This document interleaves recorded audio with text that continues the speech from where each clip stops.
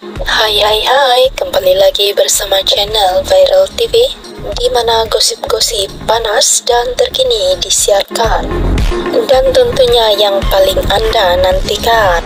Terima kasih atas sokongan Anda semua. Jangan lupa tekan butang subscribe dan tekan lonceng, like, komen, dan share. Salam sejahtera berita hari ini dipetik dari portal yang terpilih. Kami gembira melihat sikap Syamsul, kata Yusof Haslam. Kuala Lumpur, Alhamdulillah syukur kami gembira melihat sikap Syamsul yang utamakan anak-anak dan berbaik dengan bekas istrinya Putri Sarah. Inilah sikap perlu ada bagi setiap pasangan yang dah bercerai, kata penerbit filem dan drama Datu Yusof Aslam.